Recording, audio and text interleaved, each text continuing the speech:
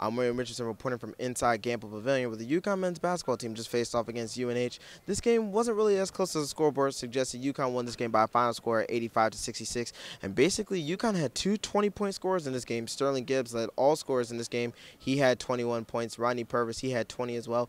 Both players had five main three-pointers in this game, so it was a great game for UConn shooting the three-pointer.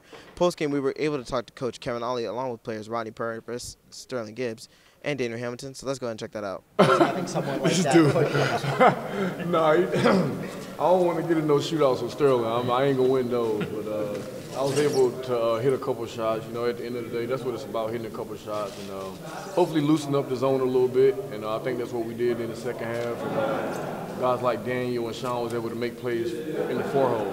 Um, it's, it's, it's a little tough, but at the same time, like it, once I started hitting shots, the defense kind of started keying on me a little bit.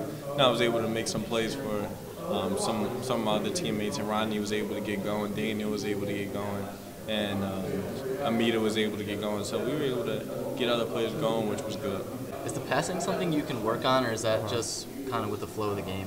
Uh, I think it come natural. I think I could be able to make go out there and just make plays. If I don't have a shot, uh, look for my teammates and um, look for them on a fast break and in the zone, and I think it's just there.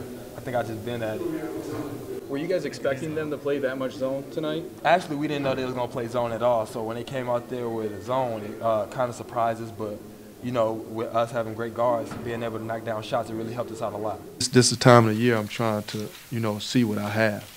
And, you know, I'm coaching that way. And, you know, when we go to uh, play Furman and then we go to the Battle of Atlantis, um, the competition is going to keep getting better and better. Um, so, you know, we just got to continue playing. And, you know, I want to play a lot of guys now.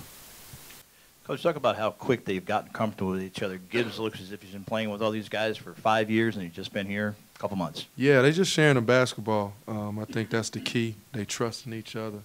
Um, we put on a board, trust the process, don't rush the process, and I think they allow it where I'm not trying to just rush it and get baskets. They really trust in each other, and they pass into the open man with a UConn jersey on. So you heard what the players and Coach Ollie had to say. Some interesting stats from the game. UConn was able to shoot 52% from the field, 75% from the free throw line. Both stats that Coach Kevin Ollie is happy with. UConn's next game will be on Saturday, where they face Furman right here back at Gampel Pavilion. I'm William Richardson, and this is UC Sports.